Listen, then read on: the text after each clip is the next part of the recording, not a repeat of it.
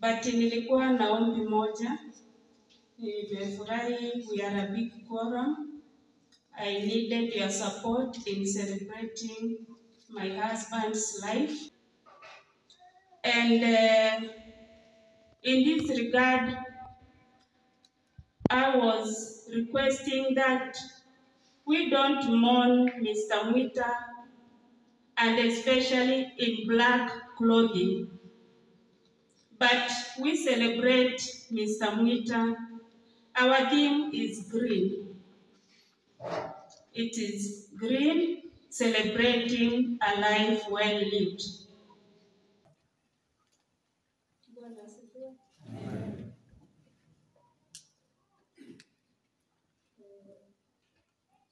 Na wasalimu wote katika jina la Yesu, wakubwa wote ambao mmejumuika na sisi.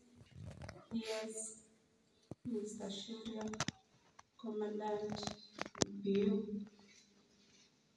Mr. Magoye, Davis wote, without mentioning all of you. Nawashukuru sana kwa kufika na niseme hili, I'll read the tribute niliandika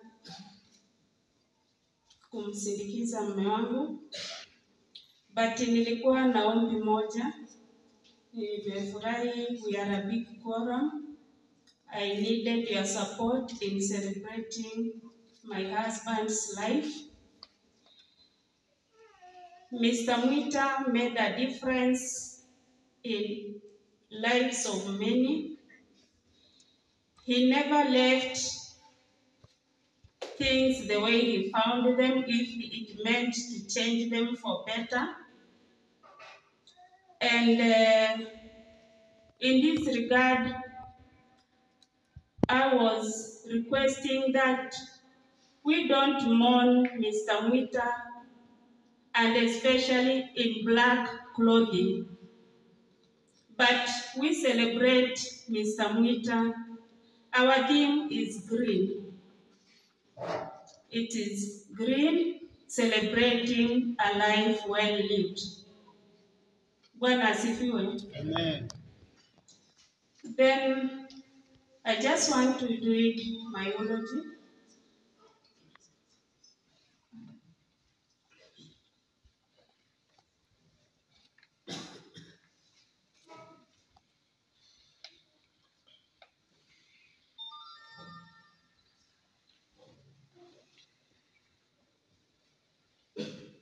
Tafadhali tuweze kudhibiti siku zetu. Tafadhali niliomba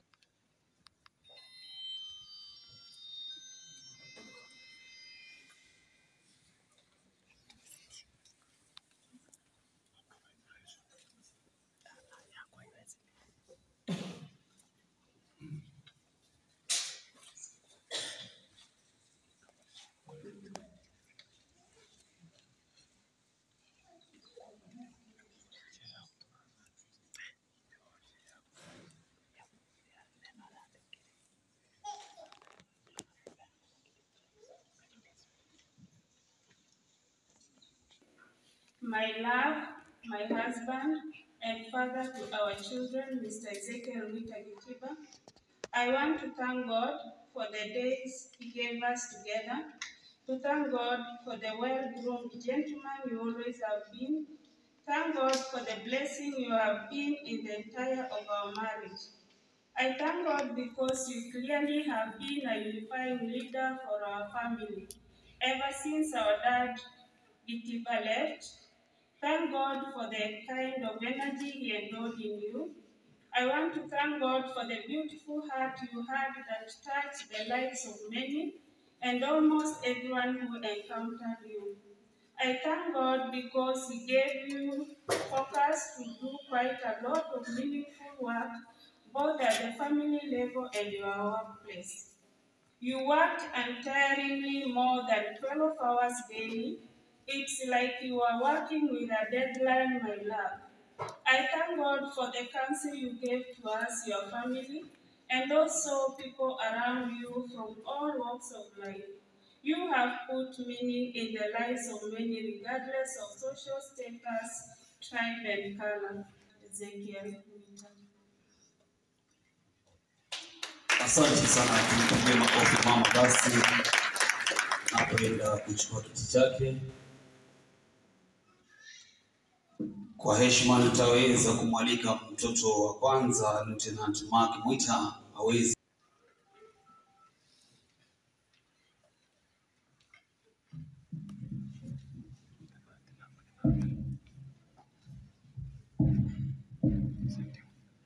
Praise God.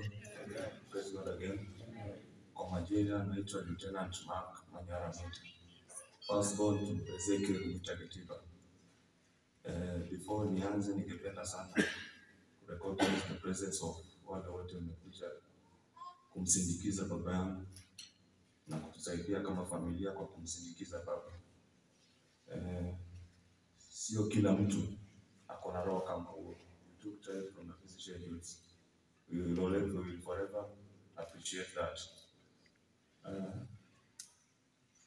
niliandika niliandika tribute lakini I don't think I need. Uh, Ezekiel Mwita Gitiba, our dad, was not a dad to his family only.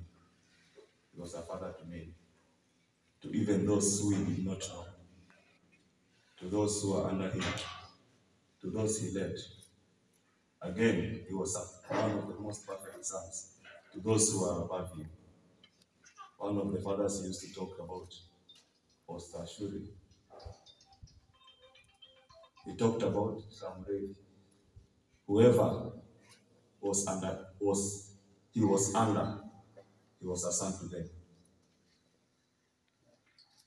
Sometimes you lack words to express how we feel because kama huku nje uko hivi I do not know what I can say but what I can say is that we thank God for the time he gave us our dad mtumishi wa Mungu amesema ya kwamba dad did not waste any of his time my dad used all of his time dedicated all of his time for his family for his job for his country and for that we will forever remember the landmark he has left Once again, may you rest in peace, Dad. Thank you very much.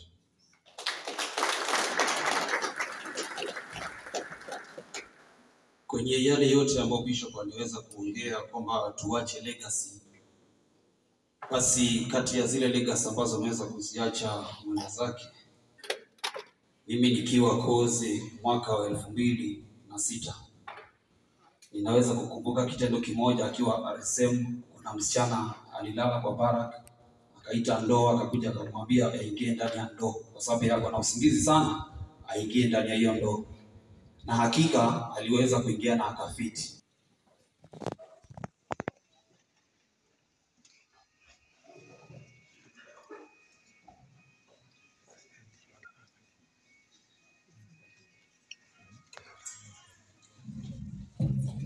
Bwana Yesu asifiwe.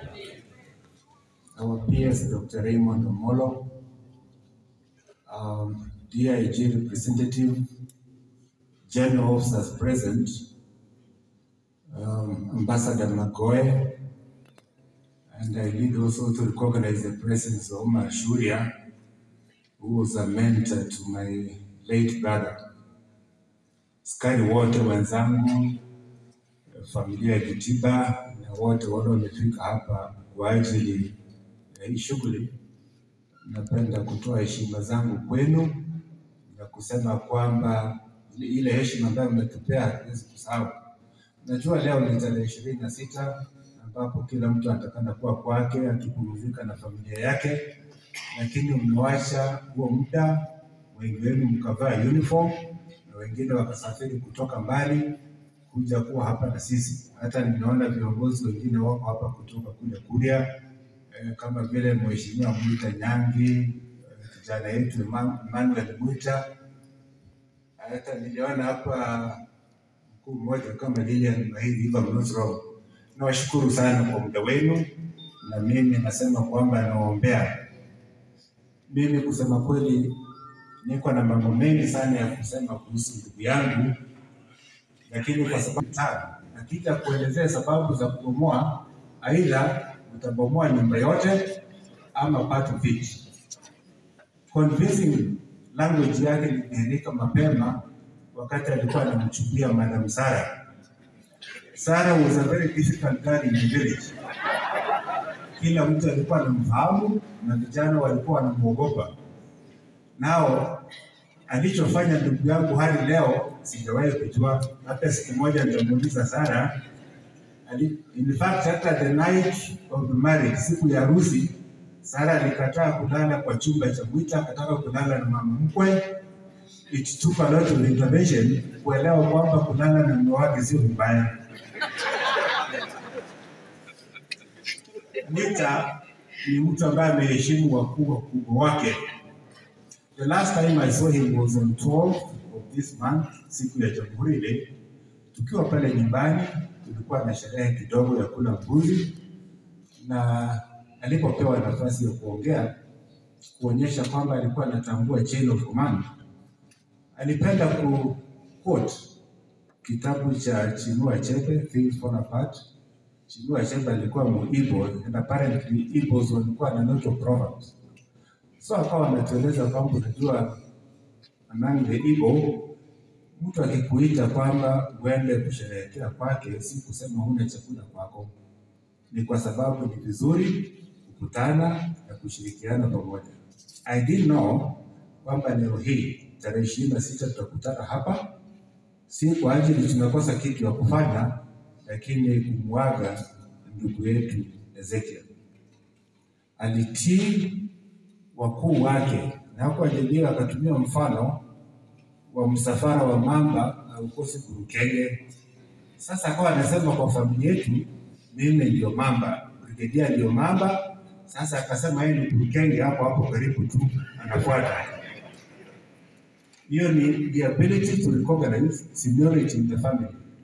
Sasa mimi nataka kusema hivi, ndugu yetu ametuacha, nimeona heshima kubwa, nimeona ushirika mkubwa kuanzia kwa DAG, the national government yote, kila mtu amesimama na sisi, na kwa mfano wakuu wa idara mbalimbali, majenerali walioko hapa. Sasa kwa niaba yake mimi nasema hivi, kama kuna mtu ambaye mwizi alikanyaga vidole, kwa sababu yeye pia alikuwa anachochewa na kina bwana Omar Shuri ambaye alikuwa nusu jeshi nusu nusu nusu polisi, walikuwa anamchochea akina balozi hapa. Kama alikukanyaga vidole, manake najua kuna wengi wala wametrig hapa. There was a time niliona kwa social media picha yake ni service from nowhere, nikaona askari mmoja anasema kwamba hii mtu alikuwa mbaya sana, alikuwa anatumiza. Kwa hivyo niko na uhakika kwamba wale ambao wanajua walifurahia wosia, wakafurahia direction ambayo ilikuwa anawapeleka. Kama amekukanyaga vidole, umuie radhi, umsamehe, sababu sasa yeye yuko hapa kuomba.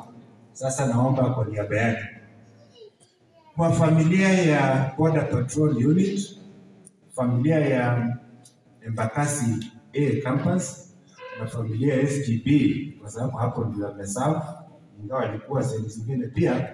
Mimi nachukua nafasi hii kuwapa pole kwa niaba ya familia ya. Najua wengi wenu mmeguzwa na kutoweka kwake, kwa sababu hiyo ndio mipango ya Mungu. Baba, I thought I'm next, kwa sababu mimi ndio mkubwa na hata nimestaafu. Sasa mimi niko free. Mungu akitaka kunichukua, hakuna mtu atauliza swali. But to my surprise, sasa kijana mkubwa ndio ameenda, amewacha familia ambayo